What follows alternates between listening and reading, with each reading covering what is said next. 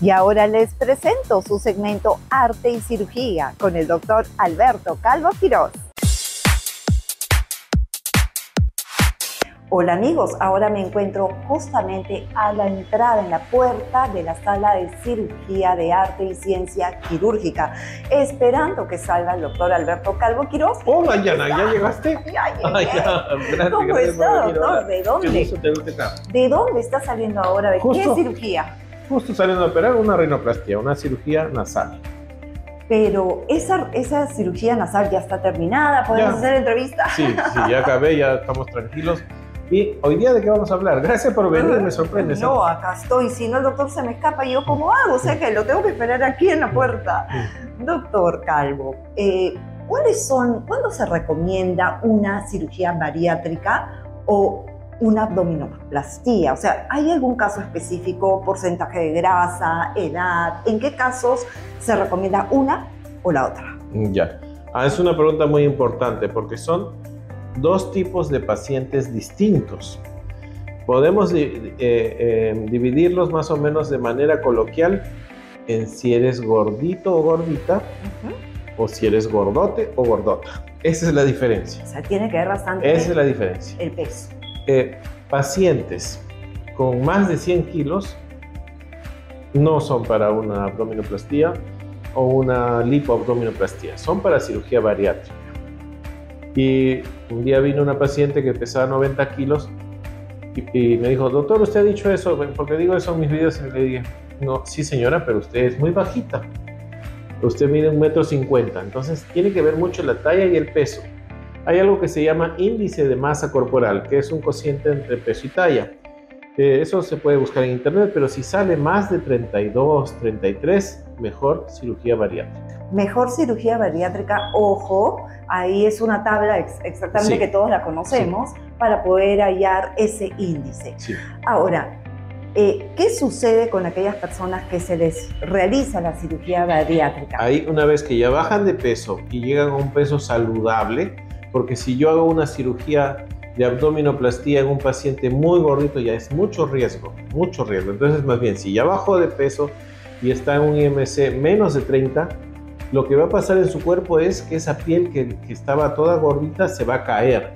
Entonces en ese momento es indicado hacerle la lipoabdominoplastía o la abdominoplastía. Por decir, si una, un paciente viene acá a y ciencia quirúrgica, que también tiene la cirugía bariátrica, Claro, hay- yo, no, yo no hago, yo soy cirujano plástico, pero hay otro doctor que es cirujano bariatra, que hace esas operaciones que son por cirugía laparoscópica, que son unos huequitos que hacen en el abdomen y lo que se hace es cortar el estómago. El estómago, eh, antes se decía que era una manga gástrica porque el estómago, en vez de ser como una bolsa, que es así como lo tenemos todos, queda como una manga de camisa, como un tubito. Por eso se llama así.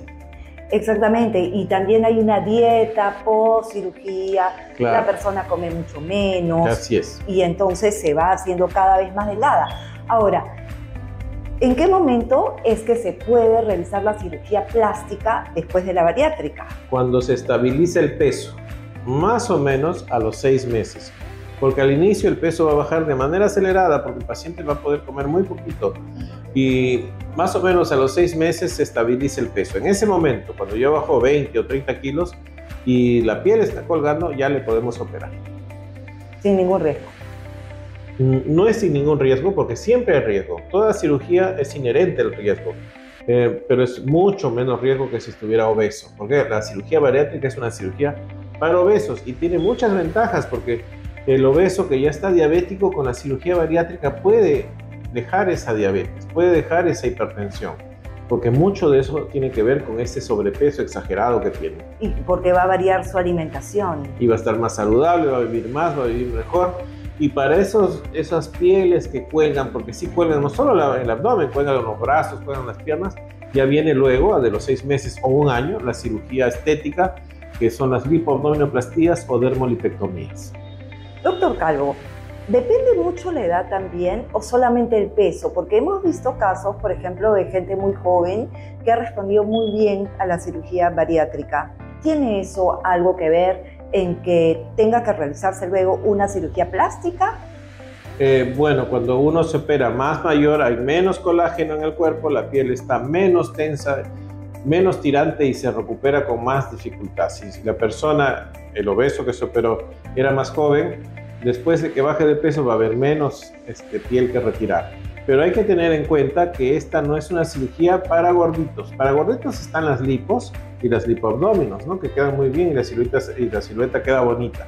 Porque hemos visto también en la televisión a gorditos que se han operado y después también escuchamos que tienen muchas complicaciones por esta cirugía bariátrica.